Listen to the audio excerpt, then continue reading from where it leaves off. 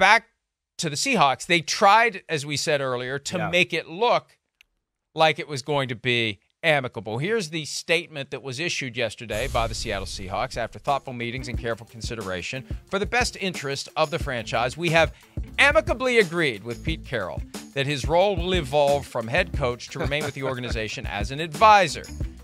Pete is the winningest head coach in Seahawks history, brought the city its first Super Bowl title, created tremendous impact over the past 14 years on the field and the community, et cetera, et cetera. That first paragraph, though, that created an impression that Pete Carroll refuted from the podium at the team facility. And here's here's Carroll from Sunday postgame when he was asked whether he wants to return, followed by yesterday his elaboration on what changed between what he said after the season ending win over the Cardinals and Wednesday when there was an amicable mutual agreement that he was going to pack his stuff and go. Uh, yeah, I, of course, of course I do, I do. Of course, I'd love to do that. Uh, I do, I do. Like at this point, I do. Yeah. Since our uh, our last game, um, I had a couple chances to uh, to talk, and, and uh, first I shared um, my feelings about uh, about our team, and uh, about the organization, and representing the 12s, and my intentions of staying with the Hawks, man, and that um, that was uh, true to the bone, and uh, I want to make sure that that's that's clear. Following our season-ending meetings with ownership um, in the planning sessions, it's clear that. And for a variety of reasons, um, we, we have mutually agreed uh, to set a new course and uh, for the club um, to, to take on new leadership. And uh, that's just a decision that's been made, and, and uh, um, there's a lot that went into that and a lot that went behind that. And uh, uh, for all my guys, I, I think you know how, how much I probably competed for our perspective and, and our standpoint and, and, and all of that. I freaking didn't back off for an instant. Well, I, I competed pretty hard to be the coach um, just so you know, because I, I just wanted to make sure that I stood up for all of our coaches and the players and the things that we had accomplished, and not not so that we could be the coach still, but so that we could continue to have a chance to be successful and keep the organization going. That's what I was fighting for. This isn't about me being the head coach. That is, it's about this organization being successful and being uh, on course for the long haul of it as well. And I realize that. I mean, you know, I'm, I'm about as old as you can get in this business, and there's there's coming a time they got to make some decisions. And so, um, moving towards the future. Um, if, if there's some way that uh, I can add something to them down the road, we'll see what happens. But um, this is a good move for, for them, and, and Johnny's going to take this thing, take the bull by the horns, and, and roll. And uh, I, I'm so I'm so thankful that I get to see him have take that next step and and uh, and watch what he does with. it. He's going to kick butt. Coach, can you be more specific about that decision? I mean, what, what, what was, No. was there a disagreement? No. What can you tell us I with regard to can't. I'm not going to. Yeah, look, it's clear. It's clear that he didn't want this. It's clear that that it wasn't mutual. It was only mutual in the sense that once he's told he's going to leave, there's a mutual agreement that he will. Because what else can you do at that point? You don't own the team. Jody Allen does. When any boss, any owner, any executive who's higher than you on the on the organizational chart says it's time for you to go, it's ultimately a mutual parting because you're not going to be like George Costanza at play now and stay in your office until they physically remove you. so he wanted to stay. It's clear he wanted to stay. Yeah. And so good luck. Good luck trying to fashion a narrative. We, we saw it with Jim Harbaugh when they said right after the last game of the 2014 season, mutual parting, he said, "Mm, they fired me. and, and that's what Pete Carroll said in a lot more words, with a little more nuance. But when he says, I competed to be the head coach of the team, well, it doesn't mean they had a tug of war or an obstacle course or, you know, a game of horse Right. over it. He went into those meetings fighting to stay, and he Argued, disagreed right, with the sure. idea that they wanted him to go. He Yeah, argued with them. He fought it out. And there's a story to be told here at some point as to how he lost his juice because he was the king. Yeah. He was the king. And every once in a while, you'd, you'd see reports about how there's no one to check him. You know, his sons used to be there, and and I think it was kind of not great when that happened. And they kind of ran the show however they wanted. But somebody at Vulcan, that's the company that holds all of the Paul Allen interests as Jody Allen sells off his estate very, very slowly. Somebody at Vulcan must have decided we got to get to Jody and we got we got we got to make some changes with this football team. Yeah. We got we got to make and he got he got he got usurped by somebody. And I'd love to know that story. And it's funny because, you know, he mentioned Johnny, that's John Schneider, the GM, who was hired to basically work for Pete Carroll. Yeah. The end Right. result of this is Schneider's not leaving. Yeah. Schneider's going to pick the next coach. Right. Well, I Schneider, you know, but I think by those comments right there, there's no ill will, right? I don't think Pete Carroll was making those comments.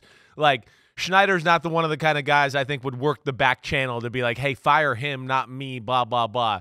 I, I don't think he'd be like that. Knowing their relationship, knowing John Schneider. I mean, again, I know everybody's out for themselves to a degree, but even with Pete's ca- comments there, I think they show you that, you know, Schneider's had his back from the get go and will Oh. to the very end. I think that that's one thing. You know, Pete Carroll, uh, what? Hang what- on. Well, go ahead. Uh, what? well, Yeah. well, because we got another clip. You say that Carroll that, that Schneider's had Carroll's back. yeah. we we know what happens. People go from having their back to you know Sure. sticking a knife into their back Sure. when they get the chance. Right. Let's listen to a little bit more from Pete Carroll Okay. before we come to any conclusions as to whether or not there's any friction between him and the guy who was hired to help Pete Carroll find the right players, and he did in John Schneider. Here's Carroll when asked specifically, "What will be your role with the team going forward?" We're going to figure that out. We don't really know right now. Um, but um, I'm grateful for the, the intention that, you know, that the organization has, you know, to try to find something uh, that, that makes sense. Um, you know, so we'll see. How excited are you just to see what John does with this? Oh, no, it's, it's, it's why this happened.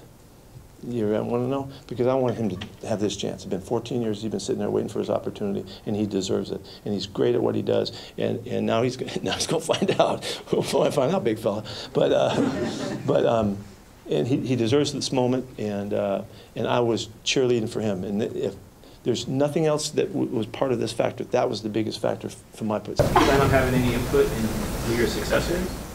Um, no, I have support to, to John. I'm supporting John. The the Bears have won, and you guys have got in again. Do you think you'd be in this position? Or you think making them, but not making them? Not today.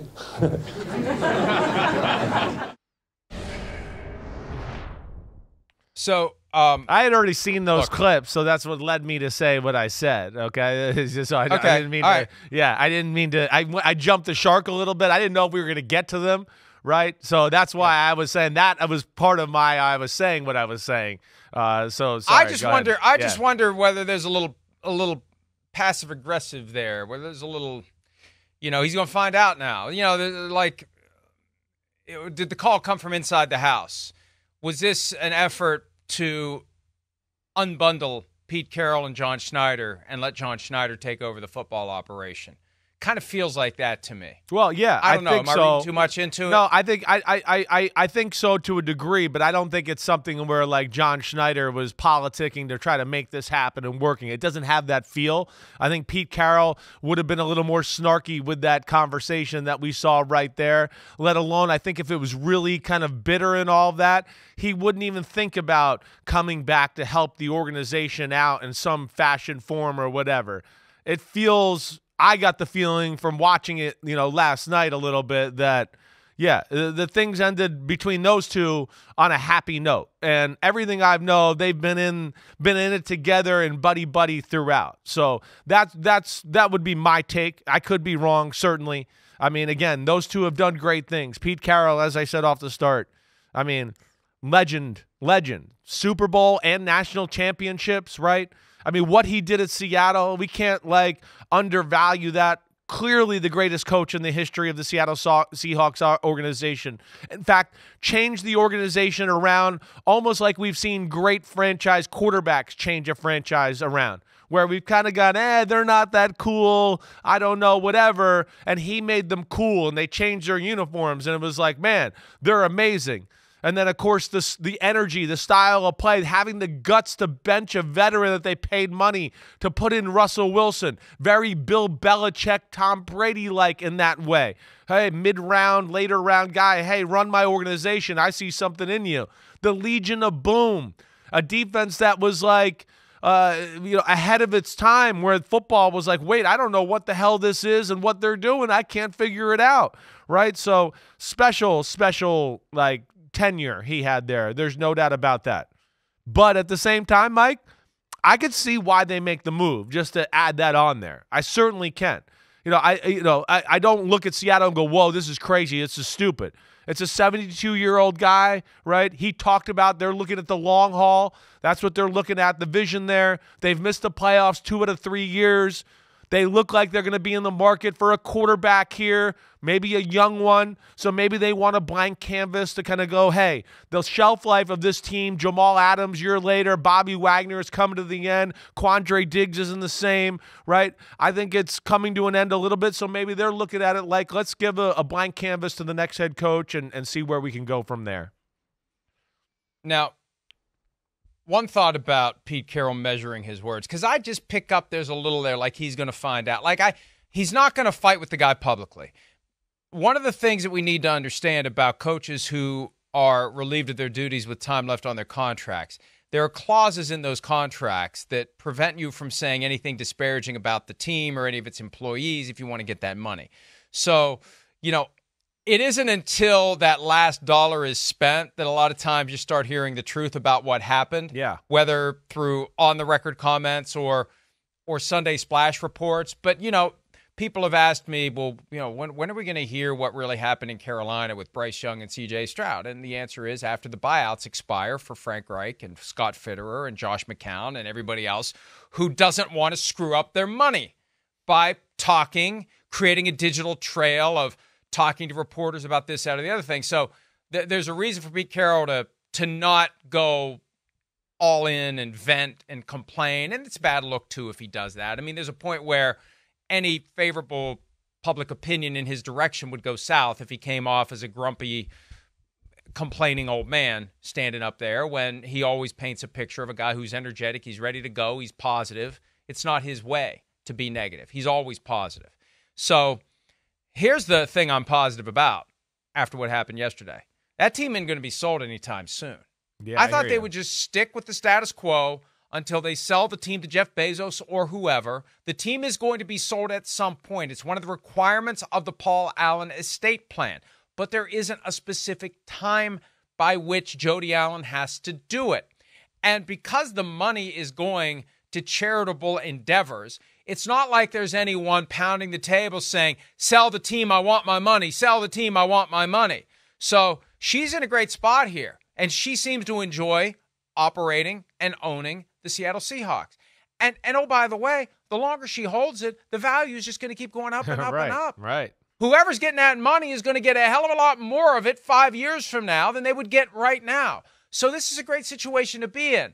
And firing Pete Carroll or whatever they call it, and whatever he calls it, and moving forward, John Schneider hiring the replacement, that tells me that that she's not selling anytime soon because good luck hiring a coach who's going to get Ron Rivera because it happened to him in Carolina. It happened to him in Washington. You're going along, you're going along, you're going along. Oh, new owner? Well, just a matter of time before new owner hires his or her own coach. And and so I think, you know, if you're a Seahawks fan and you've been worrying about the turmoil, the upheaval, the uncertainty of a new owner, I feel like that is pushed even farther into the future with yesterday's development. Yeah, I uh, definitely. I, I mean, I saw you wrote that article. I- You know, again, I'm I'm so football. Sometimes some of those things aren't on my radar to the same way or, or the way they are in, in your capacity. I mean, you're all over that stuff. But yeah, I would think by these type of moves and where we're at, I mean, yeah, it doesn't seem like anything like that's in the in the near future. Uh, and, and listen, Jody Allen, you know, I don't I don't know what the all the details of are that arrangement too, but damn, I know NFL NFL organizations are are cash cows right now. I mean, they're all pocketing over 400 million a year right now. When it's all said and done, bills all paid, all of that. So, you know, I don't know where that money's going. That ain't going to charity, I don't think. But uh, for right now, it seems like, hey, John Schneider is going to run the ship. And it doesn't seem like anything's changing there in Seattle anytime soon, other than, you know, a new head coach and a new look for what we see on the football field and, and the organization. And apart from the profit that is being generated each and every year, even if you're trying not to make money, you're still making money with that giant check that you get your share of the national TV revenue. The value keeps going up Yeah, and up right. and up. Last year, 2022, Broncos 4.65 billion. A year later, Commanders 6.05 billion. What would the Seahawks get this year? 8? Right? Somebody told me 5 years ago the basic average value of the you know normal middle of the pack NFL team is going to be 8 to 10 billion before too long and we may already be there. The question is getting enough people who can afford it. But, you know, remember when there was all the speculation about Jeff Bezos trying to buy the Commanders? It dawned on me at some point if you're going to eventually buy a team, why are you going to buy a team that you got to spend all this time and effort, you know, getting rid of the crappy stadium, rebuilding and undoing all the damage that was done by Dan Snyder? You know, is, is do they have the right name? Do we need to change to a different name? Like, eh, the hell with that. I'll buy a team that doesn't have any of those issues. It has a loyal, engaged fan base that loves the team, that supports the team. Got a stadium that isn't brand new, but it's new enough.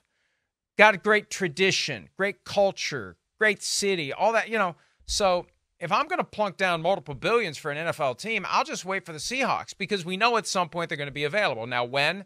Again, today, yesterday, we look at it, we say, it's probably going to be a while now It's probably going to be a while, and it'll probably be 10 billion by the time the over under for the price of the Seahawks when it's finally sold is 10 billion, and I'm going to take the over. Okay, all right. Well, we'll see. We'll see. We'll hold you to that, uh, guys. Make sure we recorded that and we still can play alive. that. Uh, yeah, still alive. Yeah. we'll see where it goes. But And, crazy, and the Texans crazy. definitely will make the playoffs. The Texans definitely will make the playoffs. yeah, good, good. So, um, how attractive of a job is this? It- if if you're you know you're gonna you're gonna be working for John Schneider Yeah, apparently it's not yeah. like they're throwing him overboard and just Right. throwing Bill Belichick or anyone else the keys Right. but how attractive is this job Uh, it, it's I, I want to say it's you know, the things you just laid out, right? The city, the fan base, the stadium, the facilities, all of that. The, the, it's like you just said, it's it's top notch. So like a coach is gonna love to go there and be a part of that environment, right? They love their Seahawks, they love their their football, the home of the twelfth man, right? In the NFL, at least that version of it. Uh, so that's where it's great. Now, the team itself, yeah, I think is in a little bit of a limbo state, right? It's an offensive line that's not very good. There are some young guys there that, you know, it look like they have some potential to grow into something, right? The wide receivers, you got DK Metcalf and Lockett. Metcalf certainly has a bunch of years left in front of him. Lockett's kind of like maybe, you know, at the plateau part of his career, right? I don't think it's going to continue to go up, but might stay where it's kind of been here for a few more years before it falls down. Defensive line, some good, but no marquee players there. That's been an issue for them the last few years. They have not been able to kind of hit on draft or free agent difference making defensive linemen, right? We talked about the Jamal Adams thing. That's over. We know that. You know, safety Quandre Diggs did not have a very good year. We'll see where that goes. They got two studs at corner. So they're kind of a team that I would say is like middle of the pack as far as you know work to be done to fix your football team. It's not like it needs a total rehaul, but there's some certain positions that certainly need some upgrading and and some finishing touches on. And of course, then you drop, add in the quarterback conversation. And that we got Geno Smith and Drew Lock, and nothing really that our fan base is going to get behind and go, "Ooh, look at the future, that's bright." I think that's probably the biggest thing that you know is a detractor or or, or the question mark about where they're going in the future. Well, and who the coach is going to be Yeah. really will influence a lot of those decisions. Definitely. The Geno Smith contract can be ripped up at any time. Mm-hmm. And again, how much power John Schneider has, number one, the, specific limits of that authority currently unknown, but you know, if he's telling prospective coaches Geno's the guy, we're sticking with Gino. That that may cause certain coaches to not be interested. And it it makes the search go in a certain direction where it's not going to be an established coach. It's going to be a rising coordinator. And one of the things that scouts do, they scout players and they scout coaches. And every GM, once the GM gets that job, has a list that has been carefully compiled over the years of the coaches that person would want to hire.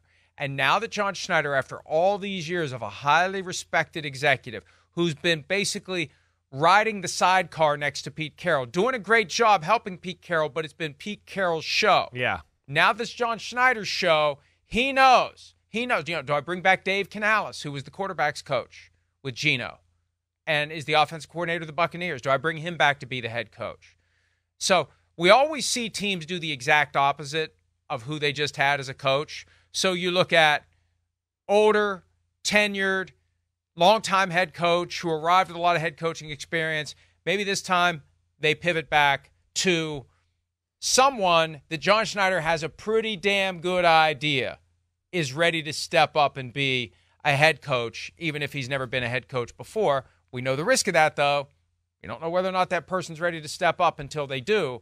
But that could be what happens because it's the exact opposite of what Pete Carroll was. But I hear you. they've got money to Yeah, burn. right. They, they, can, they can attract anyone they want. The question is, who do they want? This isn't as much who wants them as much as who do they want. Yeah, I, uh, time will tell. We'll see. Yeah, you know, there there's a lot of moving parts here, and it'll be interesting to see, you know, what John Schneider prioritizes. Right, he's had Pete Carroll, and of course that's been the boss, and it's been all about the defense. And listen, that that's probably part of the reason we are here too. Right. One of the things I haven't hit on with my points here is just, hey, too, Pete Carroll's a defensive head coach, and their defense has stunk the last few years. I don't think that's helped his case either. You know, so the the defensive coaching staff, I would imagine that's going to be revamped and totally new. I don't imagine them keeping that crew there with the way they've played on that side of the ball here as of late. Uh, but yeah, I hear you. I'm going to be interested to see where it goes to. Does John Schneider want something totally fresh and new and get outside of all the coaches that we've had here? And we need a new look and a new vibe. And I don't want anybody that's been here in the past and part of Pete Carroll. Or does he kind of try to stay, like you're saying, kind of along those lines of guys that maybe have been there? Or, you know, does he go the defensive coach route and try to stay with a similar formula that, that created the Legion of Boom and got them to the promised land the first time around? We'll see where it goes. Uh, yeah, it could go a lot of different ways here. All these openings, all these coaches. Uh, I, it, it is crazy. I mean, we're going to have a lot to talk about uh, leading up into the Super Bowl till after the Super Bowl. Well, and, and that's the other side of it, too. It's impossible to prioritize your potential candidates that you're going to hire when there may be other current coaches who get thrust into the mix. I'd have to go track the common biographies of John Schneider and Mike McCarthy. I assume they were both together in Green Bay at some Yeah, point. I believe they were. Yeah. Well, if Mike, what if Mike McCarthy becomes available? I don't know anything about the Schneider McCarthy relationship. Sometimes I mean, we just assume that because guys work together in the past, they're always going to want to work together in the future. Sometimes they want nothing to do with each other in the right. future, but there's other there's other shoes to fall before we truly know the full universe of the potential candidates to be coaches at, at all these openings. Hi, it's Mike Florio. Thanks for watching PFT on YouTube. Hit subscribe for the latest news and analysis from Pro Football Talk.